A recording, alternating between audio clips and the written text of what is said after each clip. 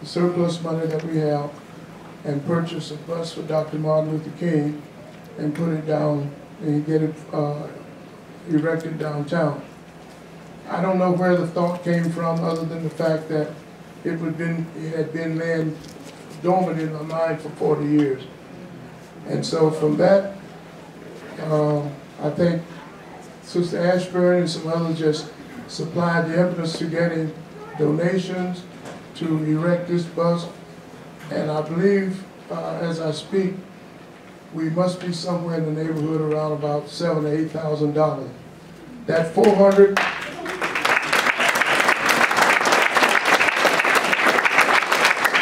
that four hundred and sixty dollar item now will cost us ten thousand dollars at a minimum. That's inflation.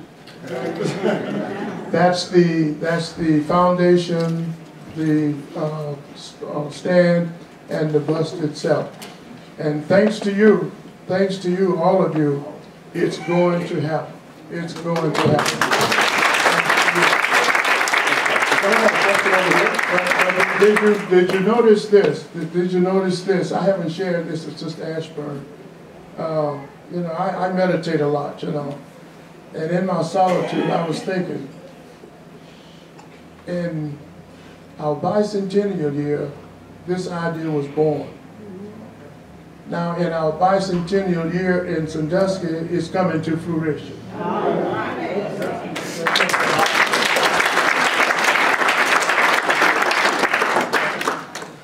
Can you share the story about what led up to you becoming mayor and, and council?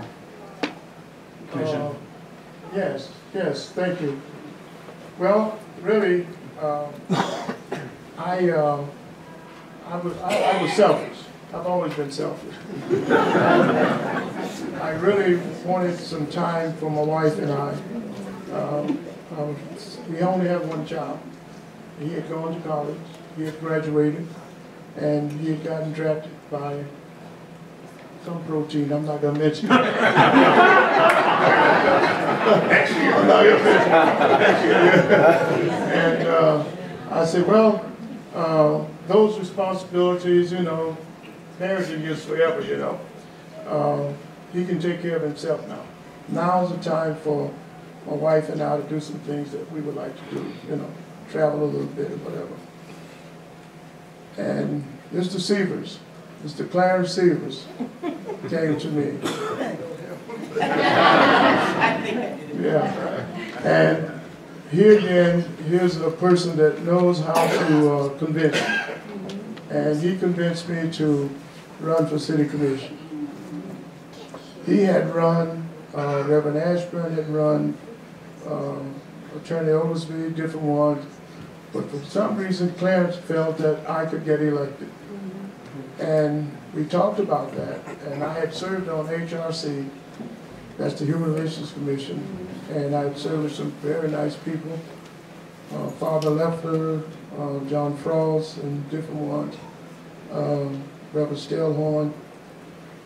And, uh, I said, well, I'll tell you what, if we can get a committee, uh, committee, a multi-racial committee, uh, multi-denominational committee, don't want all Baptists, don't want all Methodists, can't. If we can get a committee, male and female, young that can't vote, we'll have them to, uh, serve on the telephone committee. I'll agree to it, and that's what we did. We got, uh, your sister was at the telephone committee? Yeah, she was a telephone, yeah. And uh, I think she was about 12 years of age at that time.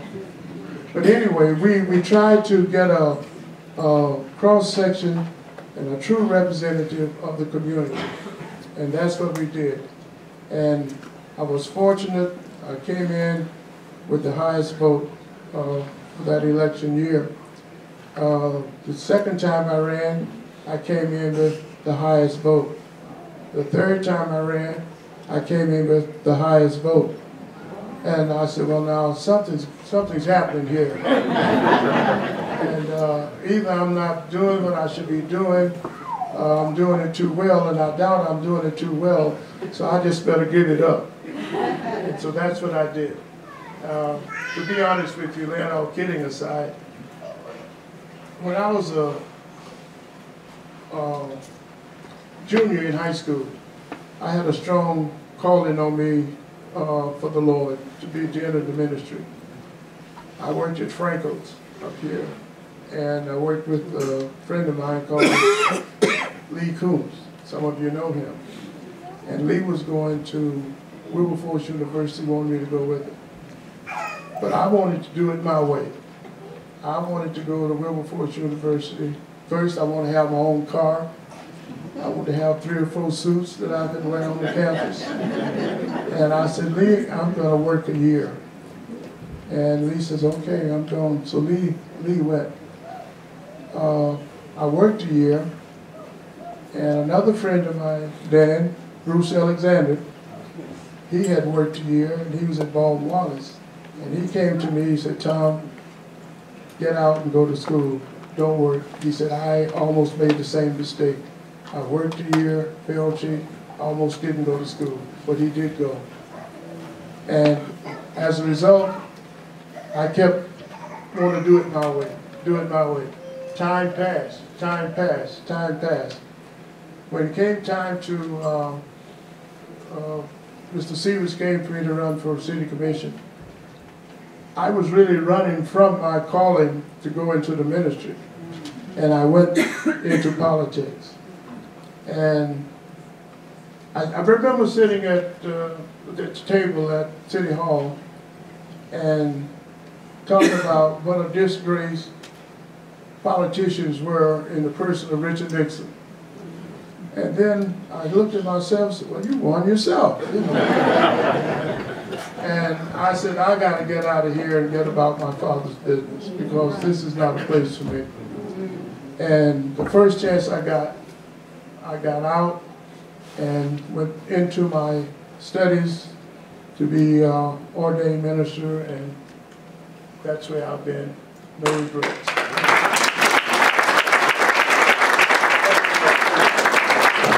Thank you, uh, Mr. Murphy. First of all, thank you to both of you for this uh, outstanding oral history lesson we're getting tonight. Uh, this question is for Mrs. Farrar. Um, based on your distinguished uh, educational career, uh, what advice would you offer parents and educators today based on your extensive experience? Encourage your children, please. I come from nothing. My parents had nothing. So if I use that as an excuse, I never would have done anything. But just when I was teaching, I always tell the parents, always encourage your children. Don't tell them, I don't have the money for you to go to college. You never know what's going to happen. Always encourage your children to go to college. You might not have anything now, but when they graduate, there may be grants they can get.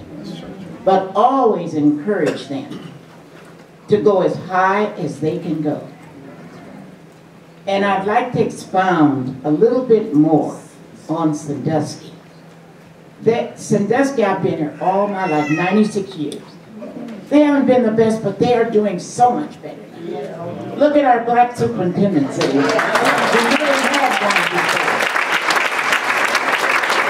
and he's doing a fantastic job. And thank the Lord for him. See, things will change. Things were a lot different, but I'm just so happy that there are so many black teachers in high positions.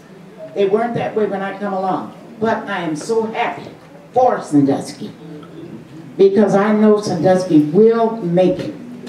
And our uh, president of the school board, Bridget Green Churchwell, when I come along, there was no such thing as that. You weren't encouraged in the high school to join any of the clubs or anything.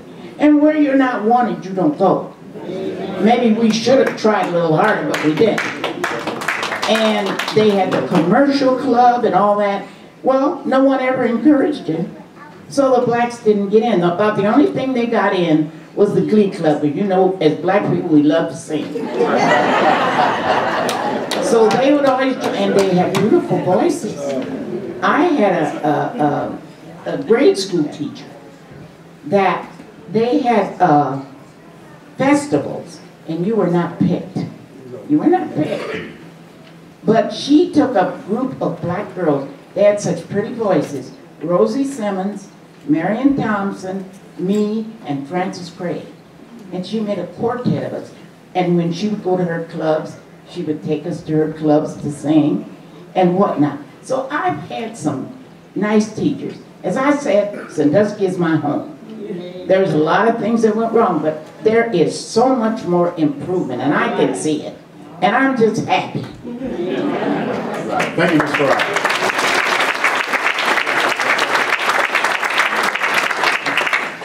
Mrs. Farrar, Yes. when did you start teaching at Sandusky? I started teaching in, let me see, I, I uh, retired in 84, and I taught 20 years. So subtract that. 1964. Yes. Another thing I want to say, uh, I, I uh, commend the Board of Education. They might not have hired teachers and all that, but Louise Roseman, I don't know if any of you know, she was the first black teacher hired in Sandusky. And they liked her so well, and I will give the Board of Education this credit.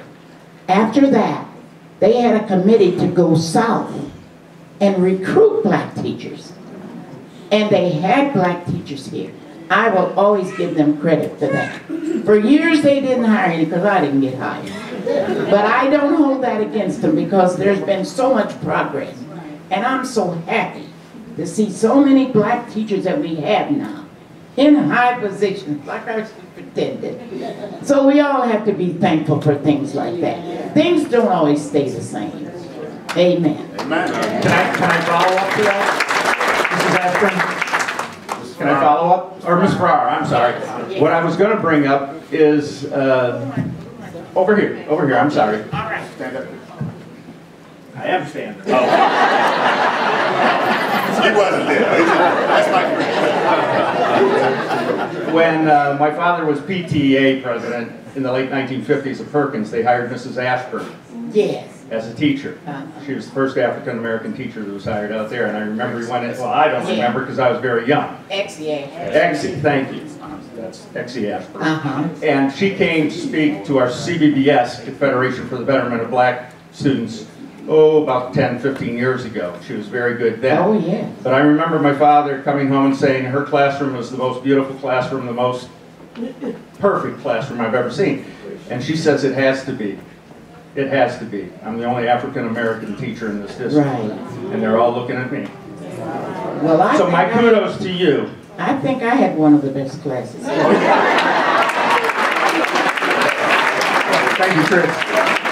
I, I meet so many of them nowadays, they've grown up, and they remember me, and they'll always say, Mrs. Fry, you were the best teacher I ever had. I said, I'll bet when I had you, you didn't think that. You were the best teacher, Ms. Farrar. Thank You you. were the best. Question right here, then we're gonna get to Mrs. Burke.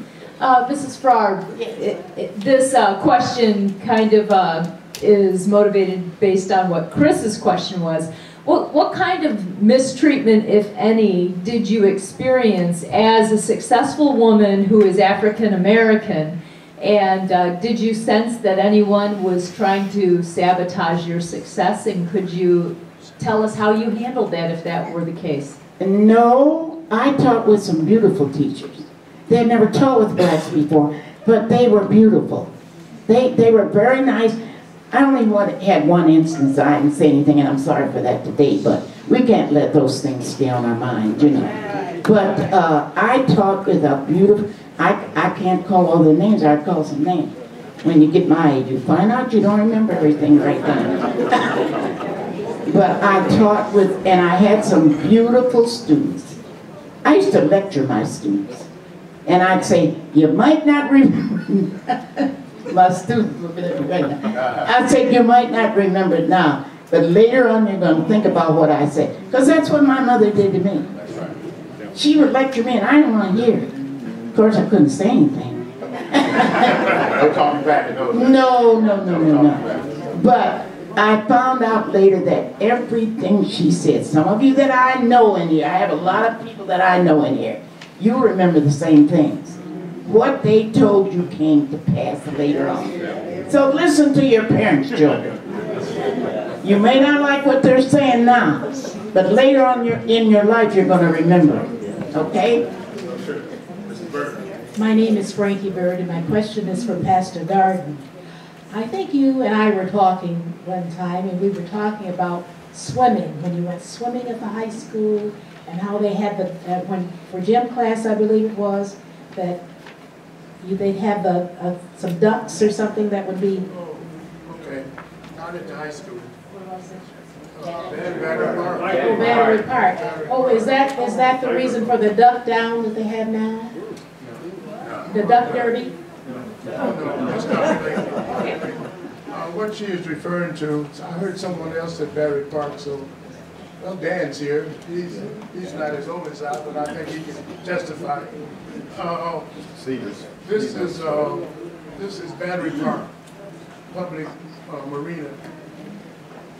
We would go down there and swim. Now, you couldn't swim period at high school, so that's, that's out. But you could swim at Battery Park. But there was a string of ducks.